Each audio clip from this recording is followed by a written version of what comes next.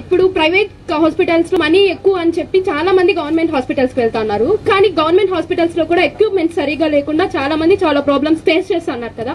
So దాని గురించి ఏం ప్లాన్ చేస్తారు?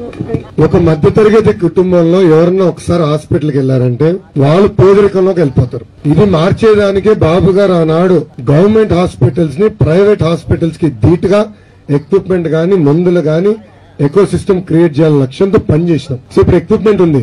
ఎక్విప్మెంట్ ప్రభుత్వం కొనాలంటే ఎక్కువ ఖర్చు అవుతుంది ప్రైవేట్ పార్ట్నర్స్తో టైప్ అయి సర్వీస్గా ఇచ్చి ప్రభుత్వమే డబ్బులు చెల్లించేది ప్రభుత్వమే ముందరిచ్చేది ఆనాడు అన్ని చేసినాం. కానీ ఈ ప్రభుత్వ అధికారంలోకి వచ్చిన తర్వాత కనీసం గవర్నమెంట్ హాస్పిటల్లో సరిగా మందులు కానివ్వండి కనీసం బ్యాండెడ్ కూడా లేని పరిస్థితి. ఒక ప్రభుత్వ హాస్పిటల్ డాక్టర్ నాకు కంప్లైంట్ చేశారు.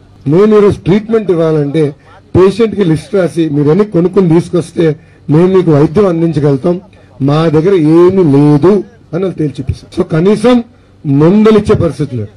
విద్య వైద్యం పెద్ద ఎత్తున ప్రోత్సహిస్తేనే పేదవాళ్ళకి అద్భుతమైన అవకాశాలు వస్తాయి. మళ్ళీ పేదవాళ్ళకి పేదరికం నుంచి బయటికి తీసుకొచ్చడానికి మంచి అవకాశం ఉంటుంది. సో గతంలో విధంగానే మాస్టర్ హెల్త్ చెకప్ నుంచి మొత్తం వీ హ్యావ్ టు రీస్టార్ట్